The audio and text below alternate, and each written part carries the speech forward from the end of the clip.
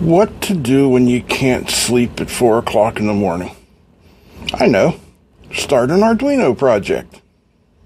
Alright, so it's 517. This took me just a little over an hour to throw together this project. Any ideas what it is? Well, let's look a little bit closer. This is an Arduino RF field strength meter.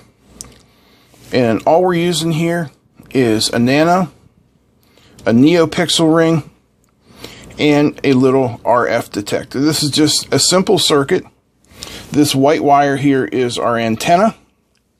These diodes rectify the RF into DC, which is fed over into our analog zero port that reads it.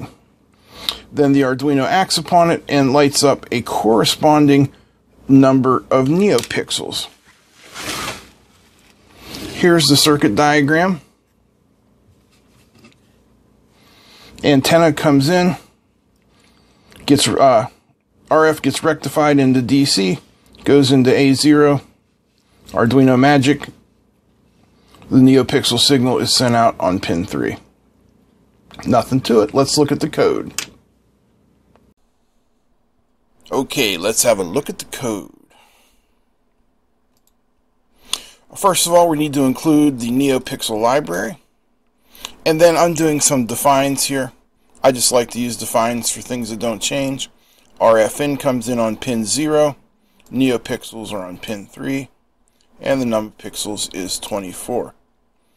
Then we just have some variables here that we're using for our calculations. You'll see how they work out in the code down below. Then we create an instance of the Adafruit NeoPixels library called pixels with the following parameters that we defined up above. Setup's only one thing, pixels.begin. Then we begin our loop. And the first thing in our loop is another loop because we're going to do averaging to kind of smooth things out. So we're going to take 20 readings. For integer n equals 0, n is less than 20, n increment. And then we're going to read the level from our RF in pin. And we're going to map it to the number of neopixels. And then we're going to keep a running count by saying average equals average plus RF strength. And when we drop out of that loop, it will take our average by saying average level is average divided by 20 since we took 20 readings.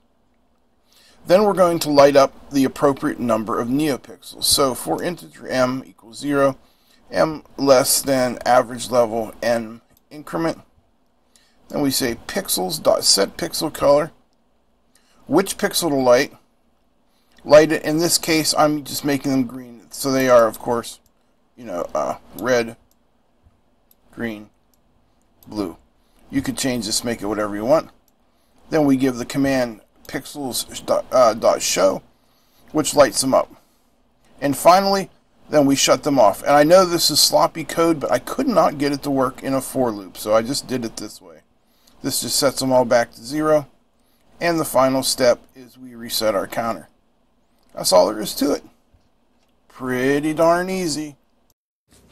Alright, the code is uploaded.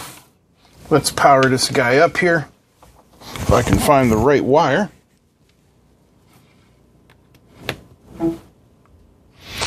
So then we're going to need an RF signal source, and for that, we're going to use the Baofeng radio. And I don't know if you can see that. It is set for uh, FRS service, which is a frequency that does not need a license because I have not got my license as of yet. Passed the test, just got to wait for it to show up. So, all that we need to do then is key the radio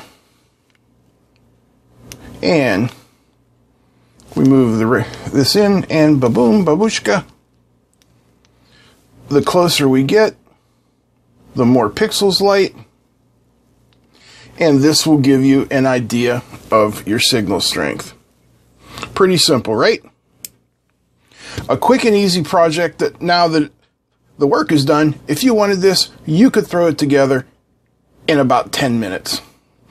You could change uh, the NeoPixel ring to uh, regular LEDs, you could change it so that it displays different colors as the level climbs.